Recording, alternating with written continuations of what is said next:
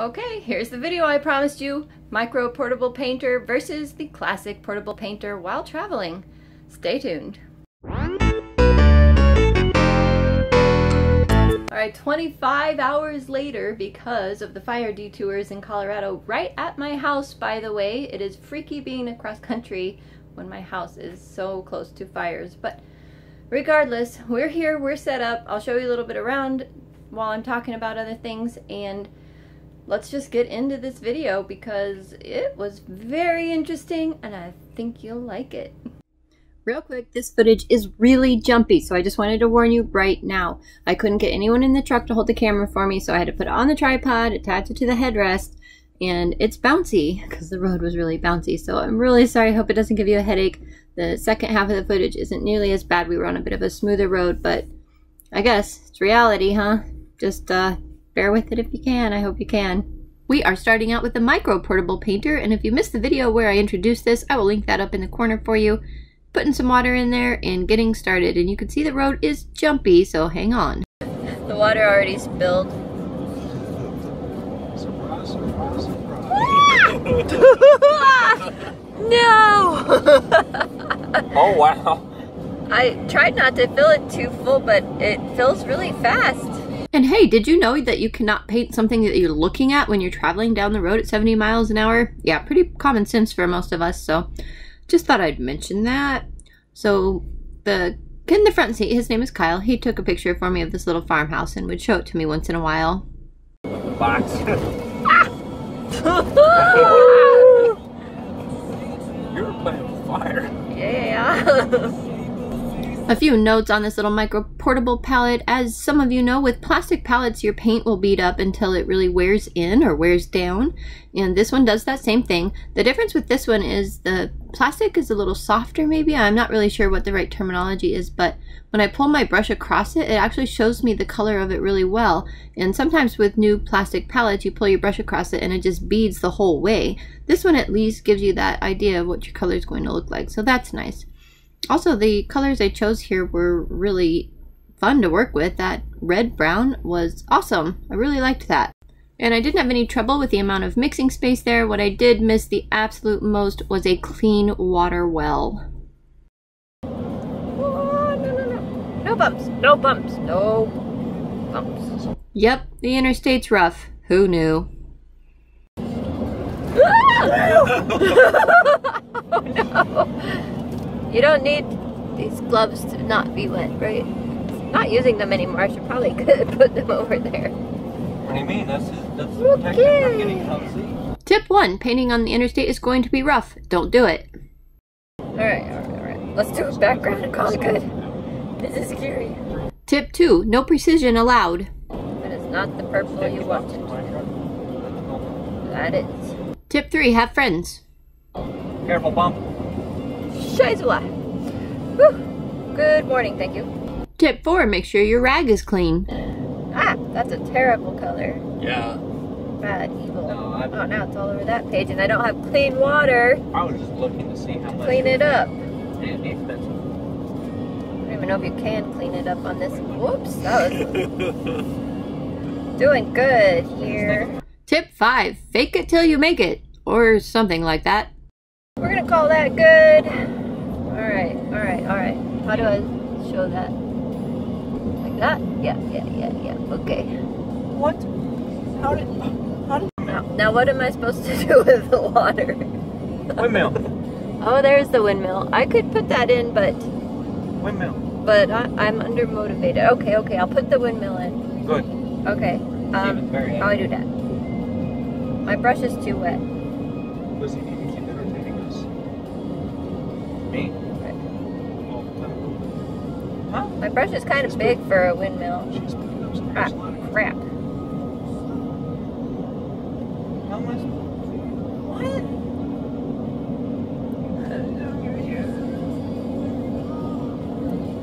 You need the picture? Ah, yeah, yeah.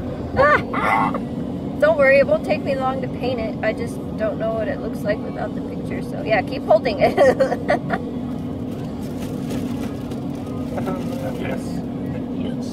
okay, you can not hold it now. You're not supposed to drop.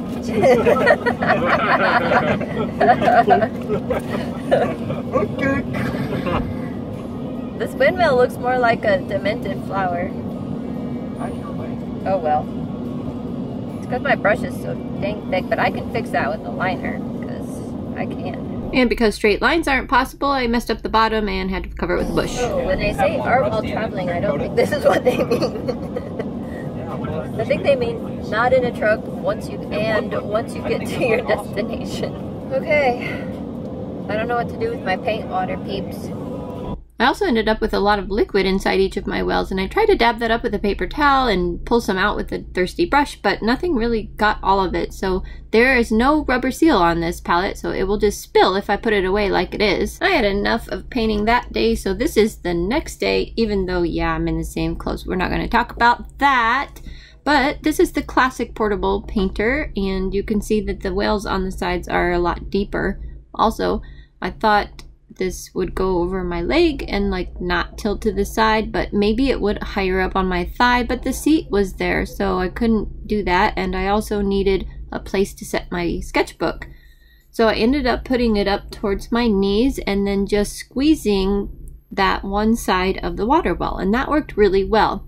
So this one worked way better for this situation because I could squeeze that palette in there because the wells were deeper for the water. That was the biggest thing actually was those deep water wells because you could fill them however high or low you wanted and the fact that they were so deep still gave you plenty of water and they didn't threaten to spill out with every little bump and jump. So that's kind of a cool thing.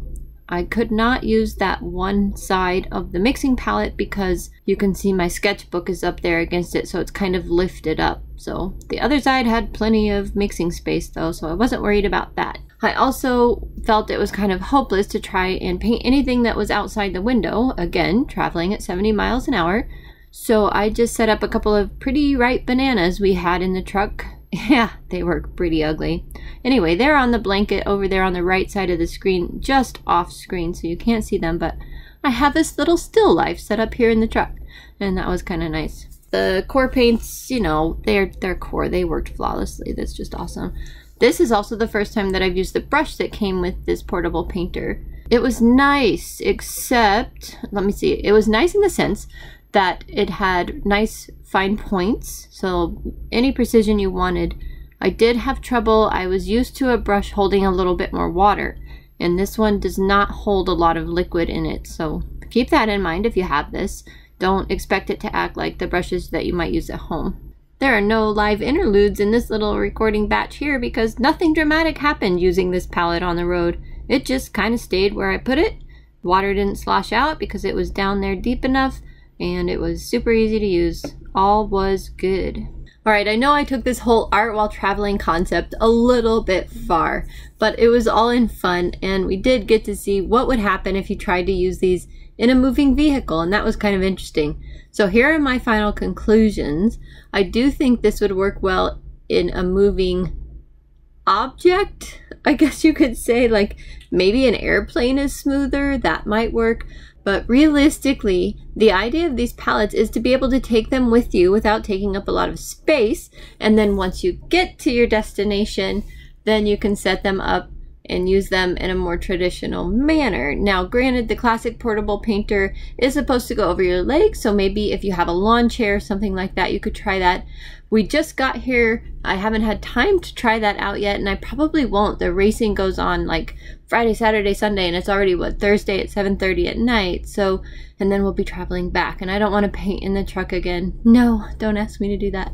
Anyway, I think that it'll work well if you're in a lawn chair like that example, or you take these with you and you get to get to your destination and then use them. I love the micro portable painter. I am definitely going to try that more at home because I don't think I have to travel once we get back home on the 18th for like another half a month. anyway, there will be no video on this coming Tuesday. I just can't fit it in. I don't even know how.